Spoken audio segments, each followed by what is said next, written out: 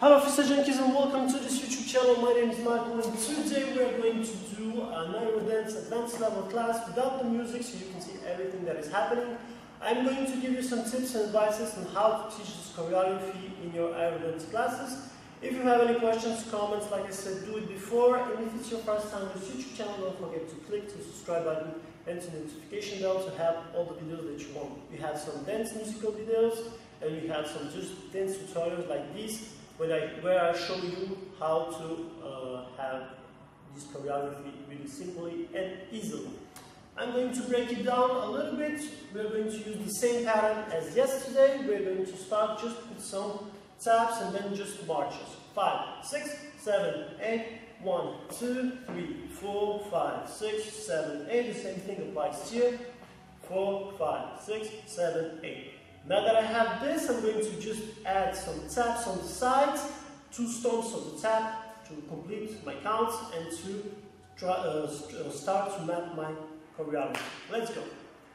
One, two, three, four, five, six, seven, eight. One, two, three, four, five, six, seven. Great. Now that I have this, the easy part is to uh, just do a jump and a twist and add a baby mambo on the side. Easy and careful. Go. One and two, three, four, five, six, seven, eight. One and two, three, four, five, six, seven, eight. Really easy pattern to do, nothing to worry about. Let's just do it one more time. One and two, three, four, five, six, seven, eight. One and two, three, four, five, six, seven. Great. Now that I have this, I'm going to add a chassé, and then I'm going to add two step knees. Five, six, seven, eight. One and two, three, four and five, six, seven, eight, and one, two, three, four, five, six, seven, eight. Tap, tap, tap. Chassé directly. Six, two and march to complete your counts. Guys, now that you have this, let's just do it one more time to be really to be really uh, strong on our affirmations and do not to be confused. Five, six, seven, eight. One and two, three, four and five, six, seven, eight, and one, two, three, four, five, six, seven, eight. One and two, three, four seven, eight, and one, two, three, four, five, six, seven. Great. Now that I have this, instead of doing just two knees, I'm going to do a step ball change and add a baby mambo.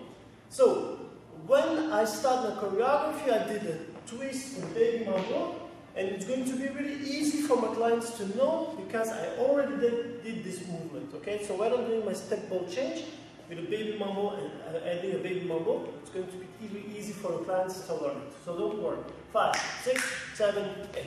One and two, three, four and five, six, seven, eight, and one, two, three, four, five, six, seven. The same thing. Tap, tap, tap. Chassé. Six. Pam, pam. Go backwards. Okay? So, baby mambo afterwards. Five, six, seven, eight.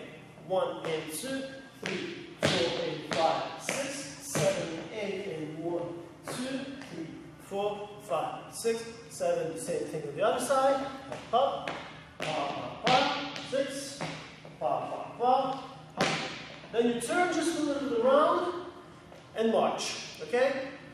Big mambo, turn, march, two counts. Five, six, seven, eight. One and two, three, four and five, six, seven, eight, and one, two, three, four, five, six, seven, eight. The same thing applies here. Chassé, up, go, backwards, and complete with the marches. Great.